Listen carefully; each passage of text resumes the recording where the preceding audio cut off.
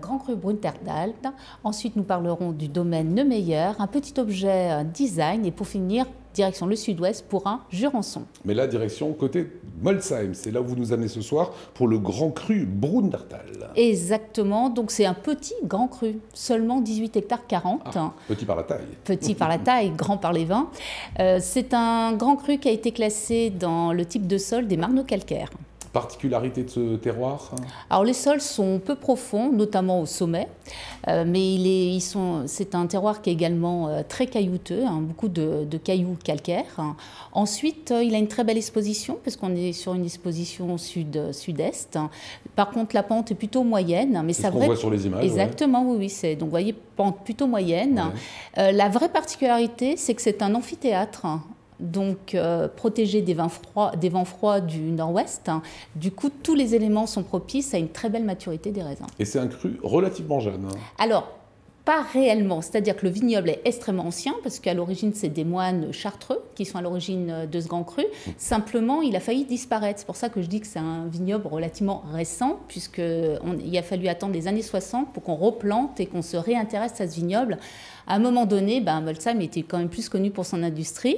Et du coup, les habitants étaient plus partisans d'aller travailler à l'usine que de travailler la vigne. On a bien fait de s'y réintéresser. Exactement. Qu'est-ce qu'on peut dire sur les vins? Alors, les vins, ce sont des vins qui sont plutôt droits, mais qui ont une plutôt belle... droits Oui, qui sont plutôt droits. Donc, euh, voilà. avec une, une, belle amplitude hein, et toujours avec une longueur hein, qui est accentuée par des notes salines hein, et également d'iode. Alors, maintenant, c'est des vins au potentiel de garde qui sont extrêmement important et comme tout vin à potentiel de garde important, ben, ça nécessite de les attendre et du coup dans la jeunesse hein, ils sont un peu austères. Hein. Donc euh, il est préférable d'attendre la cinquième année minimum pour pouvoir commencer à les apprécier. Je vous avais dit, hein, Denis, c'est une grande pro quand elle parle du vin. Ouais, une adresse que vous nous conseillez ce soir. Alors ce soir je vous conseille le domaine Neumeyer qui est un domaine familial qui est conduit en agriculture biologique. On a rencontré Jérôme Neumeyer, on regarde. Dirais le Riesling pour euh, son côté salin qui s'épanouit sur le calcaire du Brudertal. Je parlerai des multiples confréries de moines qui se sont succédés sur le Brudertal, qui ont laissé le nom euh, le frère, Tal la vallée. Alors c'est un grand cru du nord de l'Alsace, sur un sol de Muschelkalk, qui est relativement modeste, 18 hectares, et qui compte 8 metteurs en marché. Il ne manque jamais dans ma cave de Barolo du Piémont, parce que c'est une région que j'adore et j'ai tous les, tous les ans le plaisir d'y retourner. Alors ce serait un Brudertal du millésime 2016, euh, euh, deux ans après mon installation, qui est vraiment un beau millésime solaire qui s'est bien exprimé notamment sur les Riesling. Ce serait une tarte à la rhubarbe pour euh, l'équilibre entre l'acidité et le sucre. Et eh ben voilà, vous nous avez fait plaisir. Bon, maintenant vous avez un objet en main. On ne sait pas ce que c'est, Valérie. C'est une petite forêt, mini forêt. C'est quoi à votre avis? Alors, petite. Euh, Varieras Mademoiselle Varieras? Euh, Oui, une forêt des mains qui se tendent. Non. Denis? C'est quoi? Denis pourrait dire que c'est le petit frère du trophée du tournoi de Bercy.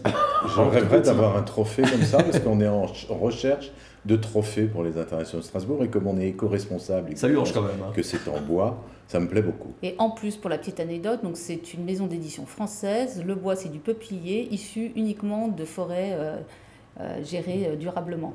Sauf qu'on sait toujours pas ce que c'est. voilà, mais c'était pour l'information. en fait, il s'agit de, de sous-verts.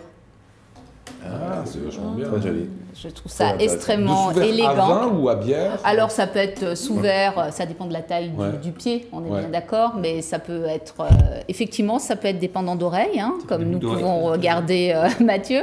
Mais non, ça peut être sous verre de bière et autres boissons. Voilà, c'est un bel objet à mettre sur table. C'est très sympa. C'est une bonne idée de trophée. Et on termine avec votre coup de cœur apicurien. Alors aujourd'hui, je vous emmène euh, dans le sud-ouest hein, pour une appellation qui s'appelle Jurançon. la cuvée s'appelle la, man, la.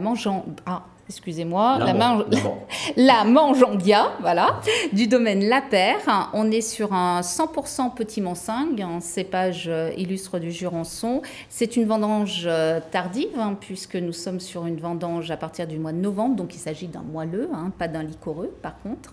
Le nez est tr- extrêmement expressif hein, sur euh, la rose, le lilas, les épices, notamment le curry, des notes de miel également et de fruits exotiques. En bouche, hein, vous avez une acidité fine avec une concentration de matière, énormément de fraîcheur et d'élégance. C'est un très joli jurançon pour euh, découvrir cette appellation ou la redécouvrir. Très bon rapport qui a été pris pour la qualité de la bouteille. Voilà, c'est le conseil du soir, jurançon. Bien sûr, tout cela, vous le retrouvez sur le site euh, apicurien.fr. Il y a plein de petites pépites sur ce site. Et je rappelle que l'abus d'alcool est dangereux pour la santé.